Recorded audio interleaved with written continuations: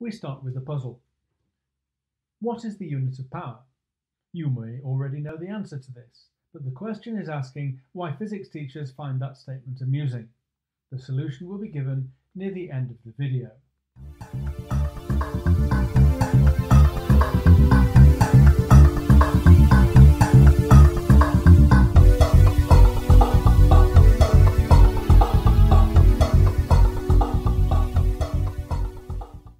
Welcome to this nothing nerdy video on power. Here is the statement from the IB Physics Guide.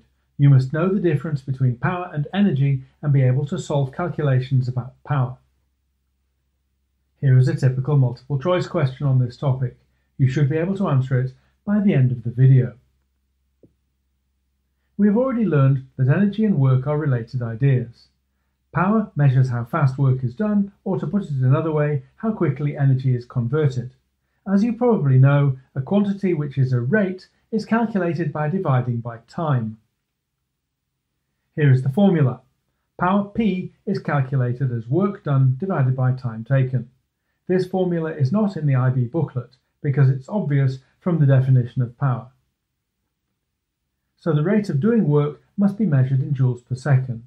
There is a unit for this, which is the watt. One watt is one joule of energy converted in one second.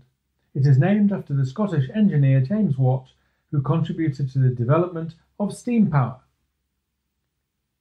Here is a simple example of how the formula is used, which will find the energy used by a laptop computer in one hour. We must be careful to use units correctly. Firstly, the average power of a laptop is approximately 50 watts. You don't have to know that figure, but it's easy to look up. Clearly, depending on the activity, the laptop may use more or less energy per second at any given moment. The time, one hour, must be converted to seconds since that is the SI unit. There are 3,600 seconds in one hour. By rearranging the power formula, we see that we must multiply power and time to calculate energy. So the energy used by the laptop in one hour is 180,000 joules, which is a large number because the unit of energy is quite small. For energy and power, therefore, prefixes are often used. In this case, we could use kilojoules or megajoules to reduce the number of zeros. We write 0.18 megajoules.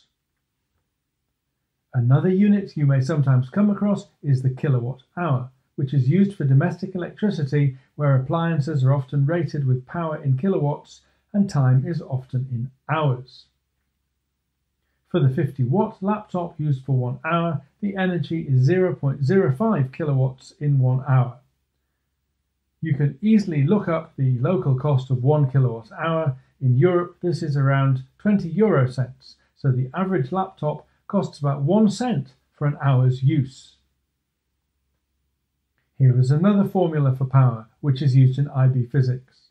It calculates the instantaneous power necessary to move at speed v with the driving force F. If the object is travelling at a constant speed, this must mean that an opposing force equal and opposite to the driving force is resisting the motion. Then the velocity and power are constant for the object.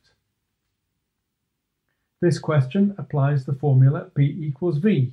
As ever, we must be careful with the units and the rounding. There are kilowatts and kilometres per hour here. The engine of a truck has an average useful power of 300 kilowatts. The truck keeps a constant speed of 25 kilometres an hour as it drives down a hill. What is the average braking force?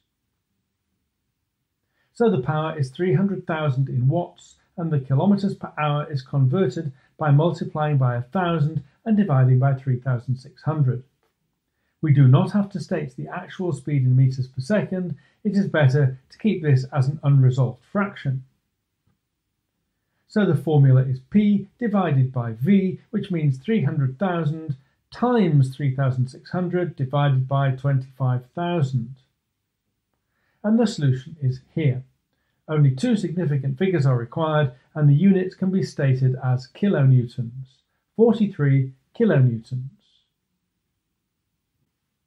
The runner is experiencing a resisting force, but she is accelerating and so the driving force is larger. the resisting force is proportional to V, but the whole power, which is what we need to find, is the force times the velocity, and since the force is also proportional to velocity, then the power is proportional to velocity squared, and therefore the graph is d, the squared curve. Here is the solution to the puzzle at the start of the video. What is the unit of power? If you say this out loud, it is both the question and the answer to the question. What is the unit of power? Yes, it is.